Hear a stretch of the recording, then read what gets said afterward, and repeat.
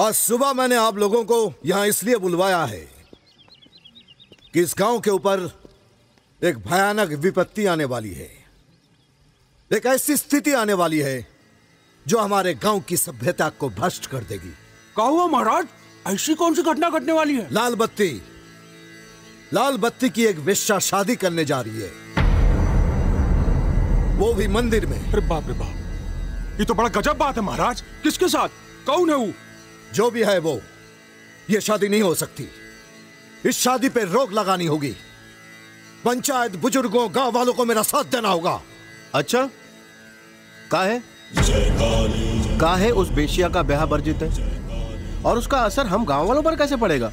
जय काली हाँ महाराज। मुखिया जी सही तो कह रहे हैं। ऊ का ब्याह कर लेने दीजिए ना।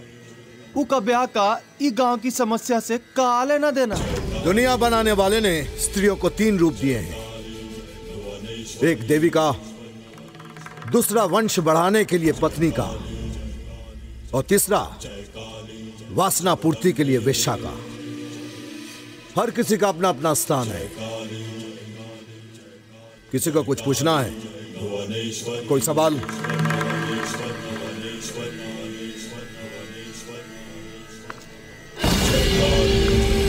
अब मुखिया मैं तुम्हारे प्रश्न का जवाब देता हूँ। मैं इस मंदिर का धर्माधिकारी हूँ। पूरे गाँव का रखवाला हूँ। अगर आज मैंने उस गुप्त प्रेमी को एक वेश्या से शादी करने की सहमति दे दी तो कल हर कोई कुंवारा या विवाहित एक घृणित नारी को अपना बनाकर इस समाज की पवित्रता को तोड़ेगा। और इसकी सहमति मैं कभी नहीं दूँगा। कि हमारे परिवारों में एक वेश्या माँ या पत्नी का स्थान ले ले। इसका अंत बहुत भयानक होगा। हे भगवान, महाराज के ई तेवर का असली बात अब समझ में आया। उस गुमनाम आशिक ने महाराज का जो इस गाँव पर अधिकार है और जो उसका अहंकार है, उसकी नींव हिला दी है। और कारण कौन है? पसंती जो दोनों को चाहिए। किसी भी स्त्री को वेश्या होकर जन्म लेना भगवान का श्राप है। उनके पिछले जन्म के कर्मों का फल है। अब तुम लोग ध्यान से सुनो। कल रात माता मेरे सपने में आई। और उन्होंने कहा, अगर रंगपुर गाँव की किसी भी वेश्या ने शादी की तो इस गाँव पर घोर विपत्ति आई। सूखा महामारी फैलेगी। इसलिए तुम लोग मेरा साथ दो। किसी भी तरह हमारे शिष्यों से मिलकर उस गुप्त प्रेमी को ढूंढो। नहीं तो बहुत बड़ा अनर्थ हो जाएगा। बोलो तुम लोग मेरा साथ दोगे? बेचारे शिक्षित गाँव वाले। इस पांडा ने तो उन्हें बुरी तरह डरा रखा है। सदियों से इस पांडा जैसे पंडितों ने इन लोगों के दिमाग पे अंधविश्वास का जाल बिछा रखा है और आज उनकी उसी बात का फ़ायदा उठाते हुए वो उन्हें बेवकूफ़ बना रहे हैं। और ये लाचार गाँव वाले उसकी हर बात को भगवान का आदेश मानकर स्वीकार कर लेते हैं। मिश्रा यहाँ एक शब्द बोले बिना चुपचाप यहाँ से निकल जाओ समझे? जाओ।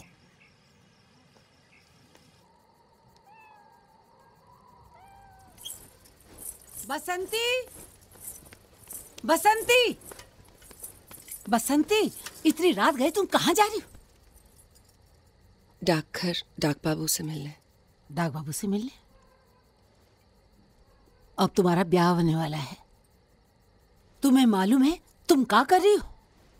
हमें नहीं मालूम दीदी। हमें नहीं मालूम हम क्या कर रही हैं। लेकिन हमें एक बार डाक बाबू से मिलकर उनसे ये कहना बहुत ज़रूरी है कि हम जो ये ब्याह कर रहे हैं वो हमारे लिए नहीं तितली के लिए कर रहे उका भविष्य के लिए, उका ज़िंदगी के लिए। मगर प्रेम तो हम डाक बाबू से ही करते हैं ना। आज ये सच, ये प्रेम हमको जता लेने दीजिए। हम हाथ जोड़ते हैं आपके सामने। हमें जाने दीजिए। देखो बसंती, तुम हमें माँ कहती हो ना? आज वही बात तुम्हारे पाँव पड़ रही है। मत जाओ बसंती। अगर भुवन पंडा को मालूम पड़ जाएगा तो तुम्हारी गर्दन काट देगा। दीदी इस लाल बत्ती में घासलेट फेंक दीदी उस नीच आदमी का नाम हमारे सामने मत लो। बसंती ज़िंदा मत कर। लो। अगर आज हम ना ही गए दीदी तो ज़िंदगी भर यही सोचते रहेंगे कि हमने उनसे क्यों नहीं कहा? एक बार बस एक बार कह लेने दीजिए फिर हम हम जाए दीदी। हम जाए। दीदी। जाओ। संभाल के जाना। जाओ।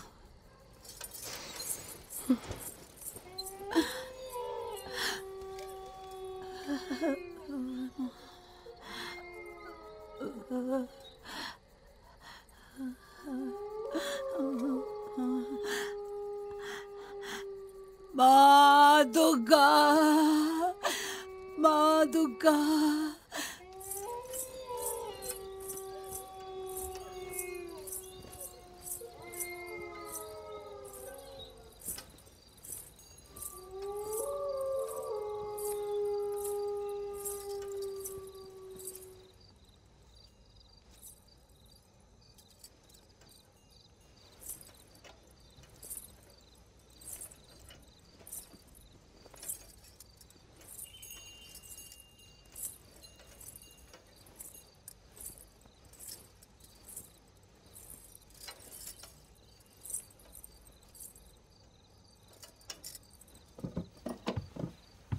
ना डाक बाबू।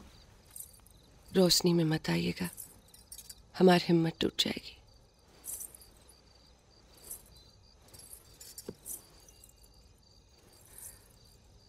तुम चिट्ठी बहुत अच्छी पढ़त हो डाक बाबू। इतनी अच्छी कि हम ये भूल गए थे कि वो चिट्ठियाँ तोहार लिखी ना ही थी। शब्द कोनो और के थे?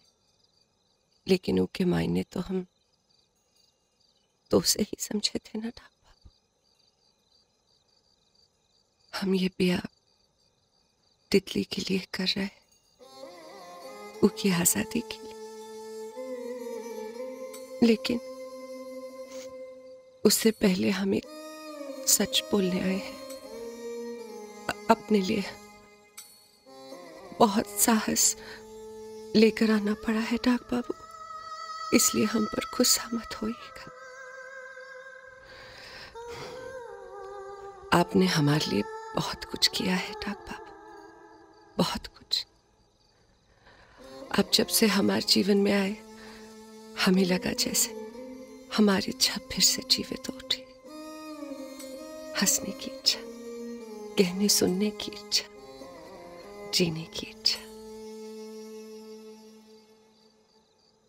प्यार की इच्छा। बस इसी में जाने अनजाने हमसे भूल हो गई डाक बाबू।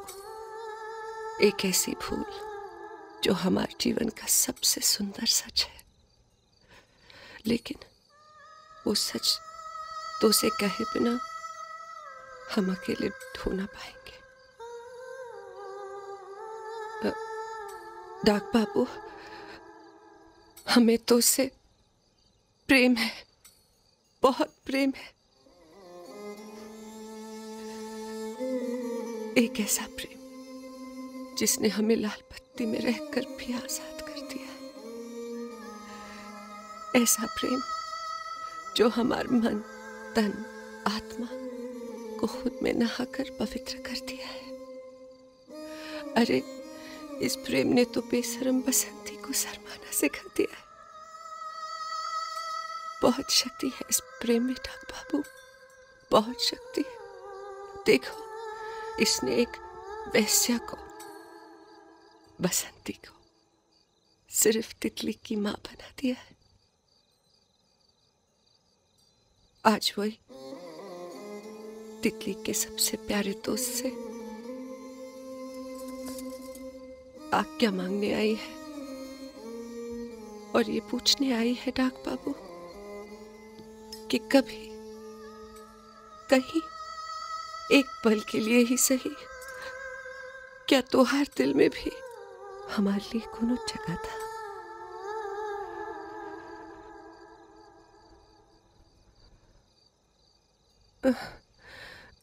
अरे ना ही कह दो ना डाक बाबू, मगर बसंती को इस बोझ के साथ विदा मत करो। हाँ। कुछ तो कहो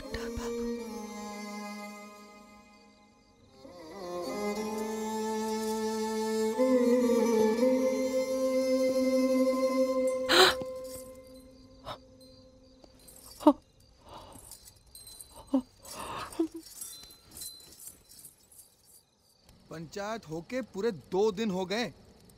भुवन पंडा के डर से अब लाल बत्ती में कौनो आने को तैयार नहीं है। ये बड़ी चिंता की बात है, दीदी। ये सन्नाटा काटने को दौड़ता है।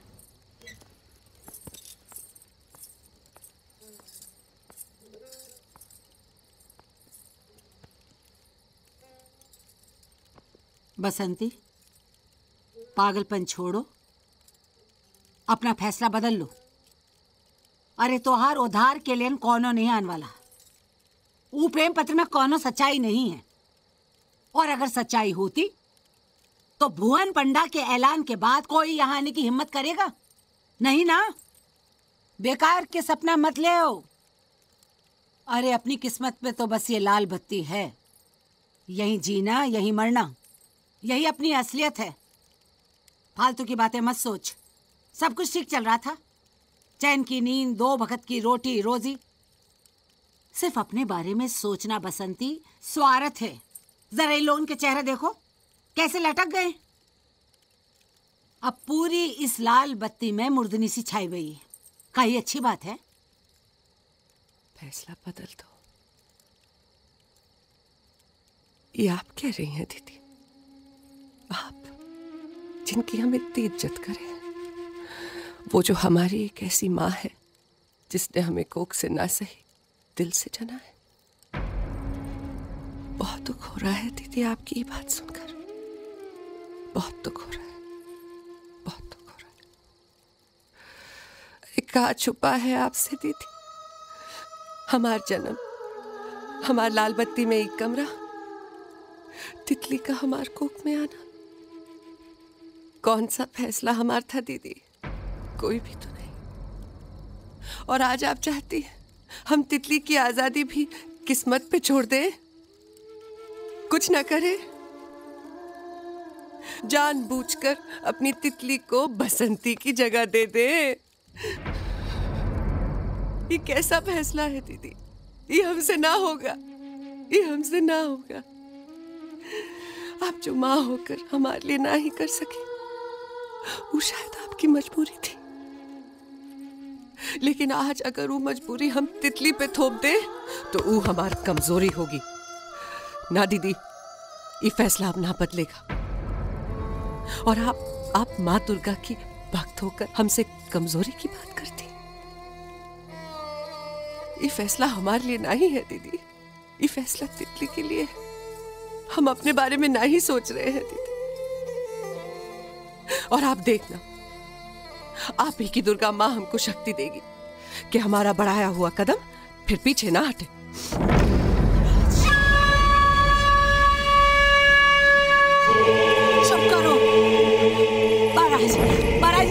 क्या कह रहे हैं कोई ने इस पर जादू टोना कर दिया।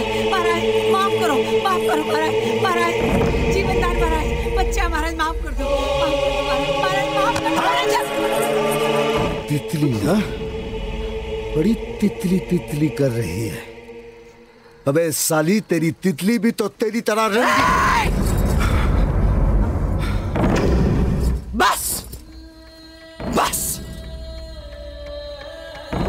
तो हर गंदी ज़ुबान पे मेरी तितली का नाम मतलब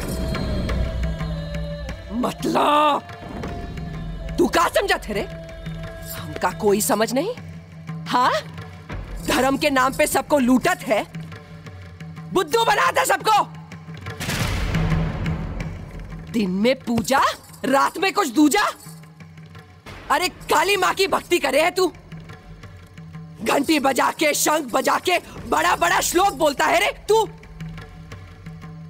और रात में रात में एक माँ के पेट पर लात मार के उसके दर्द में उसकी चीख में अपनी महापुरुषता ढूंढे है तू। डोगी बसंती अरे बस कर। बोल लेने दे मुझे आज। हट जाए तू का बोला था रे मुझे? का बोला था रे मुझे? छिनाल। रंडी। हाँ! लेकिन तू? तू जा। जाके बोल अपने माँ बहन को कि रात रात भर कैसे इस रंडी के तलवे चाटता है। तुम हाँ। तुम हमारा शरीर ज़रूर छीना है। हमें मारा है, पीटा है, नोचा। लेकिन पापी आज भी हमारा आत्मा सिर्फ़ हमारे सिर्फ़ हम। उनका तुझ जैसा महापुरुष छू तक ना सका रे। छू तक ना सका।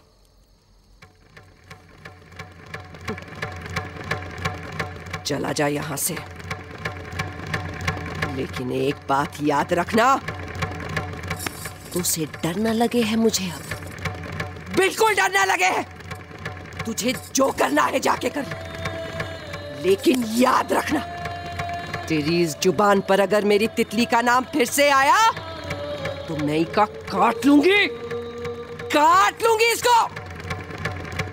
कब बाद पूरी दुनिया में तेरी आवाज़ सुनाई नहीं देगी? इस वक्त तेरी ये जीभ मेरे हाथ में होगी।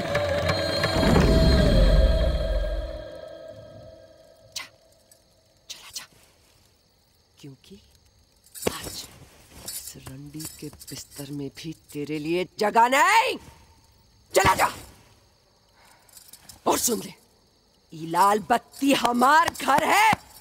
तू का रोकेगा हमें मंदिर में घुसने से रे। लाल बत्ती में तेरे जैसे नीच आदमी का आना मना है। ए दीदी फाटक बंद कर दे रे। चला जा यहाँ से। तू? डरा डरा के मारता है। हाँ, मेरी तितली का नाम लेता है तू? तितली का नाम तितली का नाम लेता है। बहुत हो गया। डरा के मारते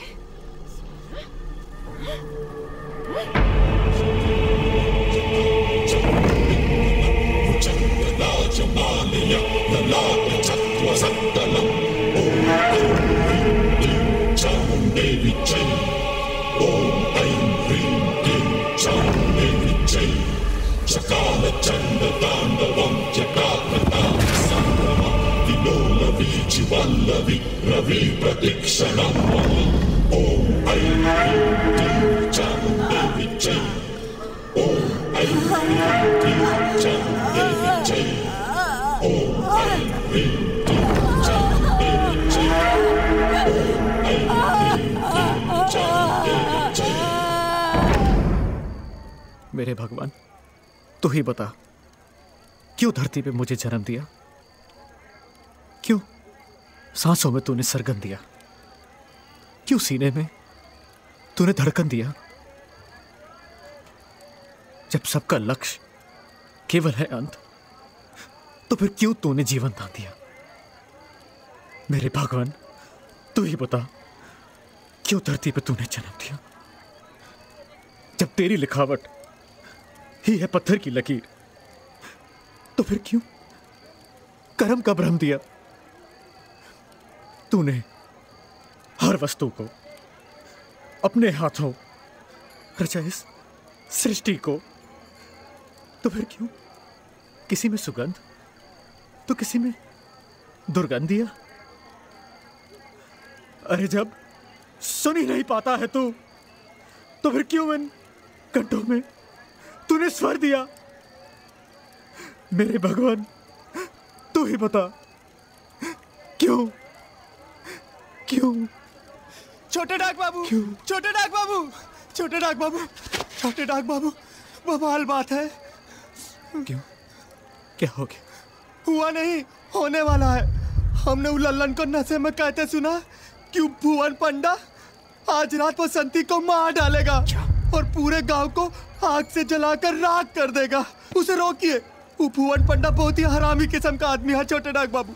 छोटे डाक बाबू वो रात जब आप हम दुखियारों के लिए लड़े थे ना आपने आवाज़ उठाई थी तभी हमको लगा था कि आप आग भले ही ना सही लेकिन चिंगारी ज़रूर है जो एक बगावत को भड़का सकती है। कुछ करिए छोटे डाक बाबू कुछ करिए।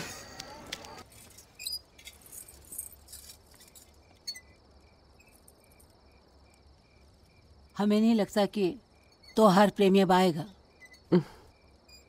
ऊका प्रेम सिर्फ़ चिट्ठियों तक सीमित है। जाओ अपना सिंगार विंगार उतार दो। हम लोगन के जीवन की सच्चाई बड़ी कटु है। जिस माथे पर एक बार कलंक लग जाता है, वहाँ मांग का टीका शोभा नहीं देता। धोखेबाज। साला। हमारे बच्चे के साथ खिलवाड़ कर गया। शब्दन के जाल में फंसा दिया साले ने। धोखेबाज गलती उका नहीं दीदी। जो हम धरती दिखाते हैं गलती तो उका है। जो अपनी औकात भूल जाता है। हम अपनी औकात भूल गए थे, दीदी।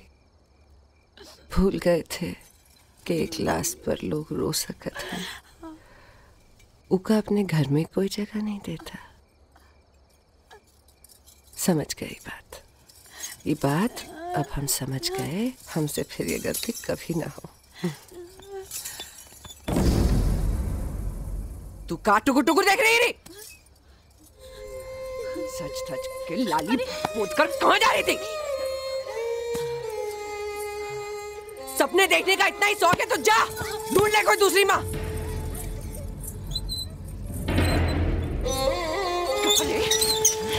रे? कहाँ शादी करेगी साली।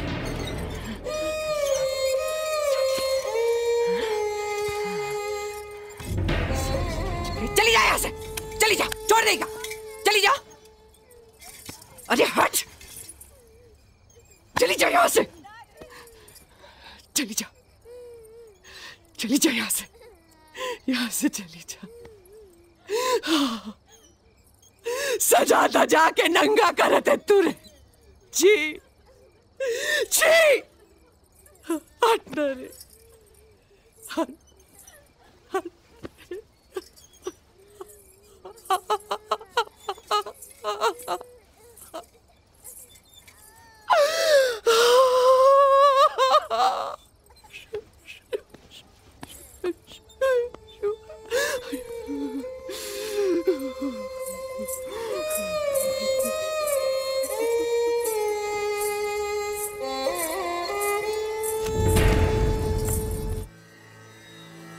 बसंती अब टूट चुकी है। और जैसा वो हमेशा कहा करती थी वो वही करेगी जो उसे आता है और अपनी पुरानी ज़िंदगी में ढलने की कोशिश करने लगती है। वही वैश्या की ज़िंदगी। बसंती! अरे ओ बसंती!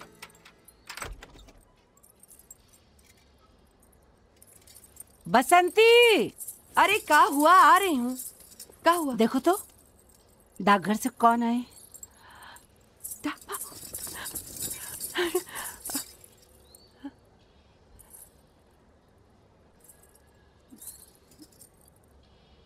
बड़े डाक बाबू आप? इस वैस्या से का काम आन पड़ा आपको? हमारे नाम की कोई चिट्ठी आई है क्या? हाँ? और वो दूसरे डाक बाबू? वो नहीं आए।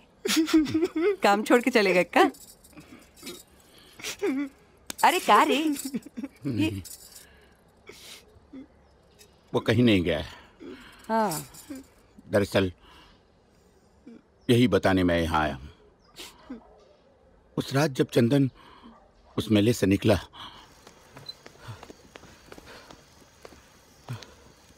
ए, भुवन पांडा! कौन से भगवान ने यह कहा लिखा है? कि एक औरत को देवी पत्नी एक वैश्य ही बनकर जीना होगा? ये सब तुम ढोंगियों की बातें हैं। अरे तुझ जैसे लोग ही गरीबों को, अशिक्षितों को अपने काबू में रखने के लिए धर्म को साधन बना देते हैं। अरे धर्म तो प्रेम है रे, अधिकार है। सही जीवन जीने का रास्ता है ये। और तेरे लिए तेरे लिए धर्म जहर है नफरत फैलाती है। हथियार है, जो लोगों को लाचार बनाती है। बारूद जो सिर्फ़ और सिर्फ़ बर्बादी चाहती है। साधु नहीं, शैतान है तू। महापुरुष नहीं अरे का पुरुष है तू? आप बाहर आ। तुझे दिखाऊँ कि चाहे अन्याय कितना भी शक्तिशाली क्यों ना हो, पर इंसानियत की एक गलती से ठोकर कैसे उसकी धरती उड़ा देती है!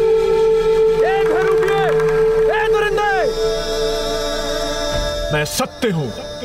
सत्य जो हमेशा से दृढ़ है, अटल है। चाहे कुछ हो जाए, पर सत्य अमर है।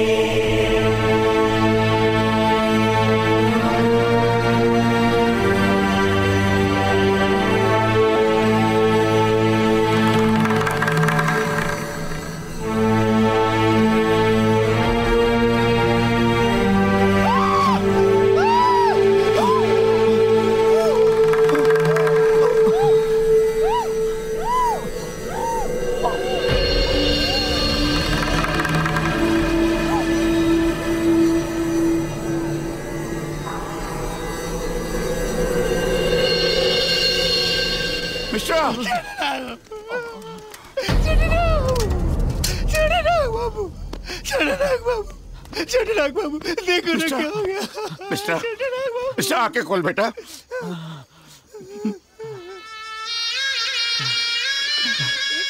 बसंती। बसंती तुम आ गई। छोड़ना मत हमें छोड़ना मत। मिश्रा मैं नरेंद्र बेटा। मास्टर आगे खोल बेटा आके खोल आके खोल बेटा।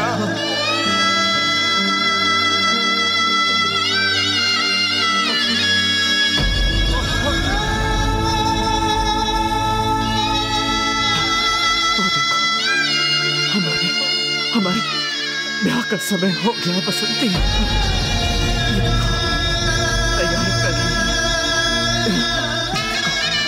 हमने पूरी तैयारी कर ली है।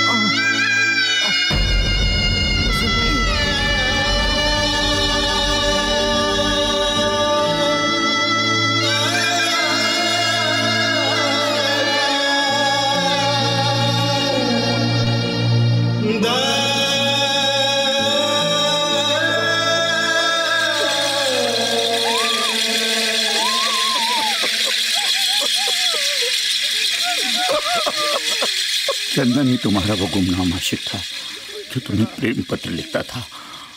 बेटी यहाँ मैं तुम्हें और अपनी नातिन को यहाँ से बहुत दूर ले जाने आया हूँ? चल बेटी।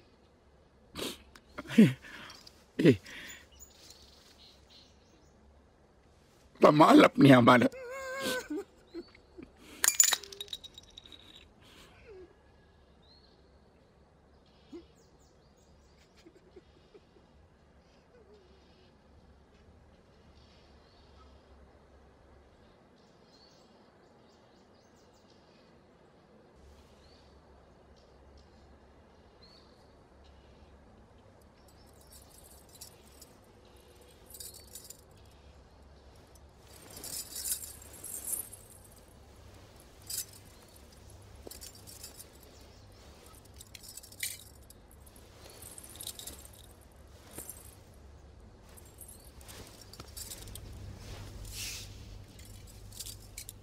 आ जाए हो। वो भी ऐसे। यहाँ भी धोखा दे दिए ना डाक बाबू। अपना प्यार बताए भी दिए, दिखाए भी दिए, जताए भी दिए। और हम हम तो कह भी ना सके ठाक बाबू। हम तो कह भी ना सके जाओ हम ऐसे हरचाई से पिया ना करें।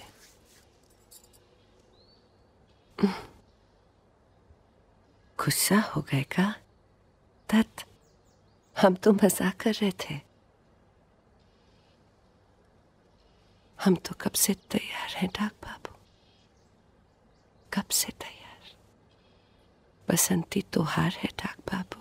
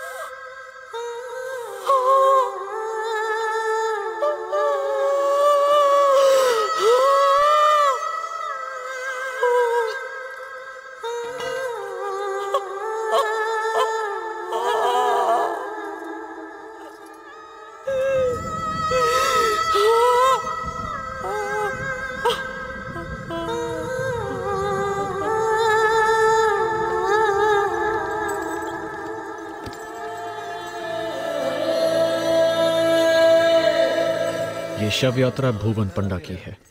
वही पालकी और उस पालकी पर उसका मृतदेह उसी प्रकार रखा गया है। जिस प्रकार वो जीवन भर उस पर सवार होता रहा है। भुवन पंडा जैसे लोग कभी नहीं मरते। उसका क्रूर चेहरा अपनी अनुयायियों और समाज पर कटाक्ष मार रहा है और चेतावनी दे रहा है कि मुझे मृत समझना मूर्खता है। अपनी धार्मिक कट्टरपंथी नीतियों से समाज पर अपना प्रभुत्व जमाने के लिए और उन नीतियों को न मानने पर अत्याचार करने के लिए वो बराबर जन्म लेता रहेगा। अब तो आप मुझे पहचान ही गए होंगे। जब तक मैं, यानी सच्चाई का प्रतीक, इस संसार में मौजूद हूँ युगो युगांतर तक बुराई का यही अंत होगा। बसंती और चंदन का बलिदान व्यर्थ नहीं गया। रंगपुर गाँव को भुवन पांडा के आतंक से मुक्ति मिल गई। और पूरे गाँव वालों ने बसंती को अवतार की तरह स्वीकार किया। बसंती और तितली को बेहतर ज़िंदगी देने के प्रयास में चंदन ने अपने प्राण तक की आहुति दे दी। इस घटना ने पोस्ट मास्टर नरेंद्र के वैश्यों के प्रति नफरत को बदलकर उन्हें प्रेरित किया कि वो बसंती के वर्तमान और तितली के भविष्य को बेहतर बनाने की पहल कर सके। नरेंद्र ने अपना वादा निभाते हुए बसंती और तितली को लालबत्ती के उस अंधकार में जीवन से दूर ले जाकर आज़ादी, संपूर्णता और सम्मानीय भविष्य प्रदान किया। इस नए जीवन से बसंती ने अपने सारे सपने पूरे किए। तितली को पूरी शिक्षा मिली और उसकी अच्छे घर में शादी हुई। सारे देश में वैश्यों के उद्धार जैसे सामाजिक कार्य करके तितली को समाज में एक महत्वपूर्ण स्थान मिला। तो मेरे सदियों पुराने राहगीर, अब तो तुम जान ही गए होगे कि भारत के हर गाँव में एक ऐसी जलती चिंगारी है, जिसे अगर भड़का दिया जाए तो वह ज्वाला में परिवर्तित हो जाती है और समाज के शोषण व दोहरेपन को अपने भीतर समा लेती है। पर अगर तुम लोगों को शिक्षण के हथियार से ज्ञान का पाठ पढ़ा सको तो उस सुलगती चिंगारी को आग और फिर उसे राख बनाने की बजाय एक रोशनी जलाने का काम दिया जा सकता है, जो अंधेरे को दूर कर दे।